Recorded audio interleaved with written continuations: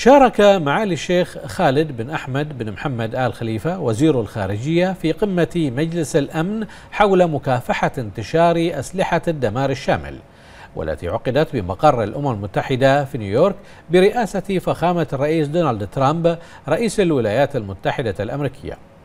وتهدف القمة إلى جذب انتباه دول العالم إلى ضرورة مواجهة مشكلة انتشار أسلحة الدمار الشامل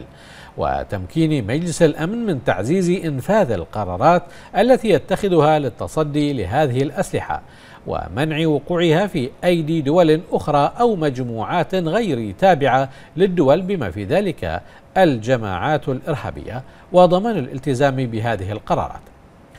وقد بحثت القمة كيفية إيجاد السبل الكفيلة بمساءلة الدول التي تنتهك قرارات مجلس الأمن ذات الصلة ووسائل تعزيز نظام الجزاءات الحالي في حال عدم الامتثال لهذه القرارات واليات زيادة قدرات الدول على الوفاء بالتزاماتها وفق المعايير الواردة في قرارات مجلس الأمن الخاصة. بمنع انتشار أسلحة الدمار الشامل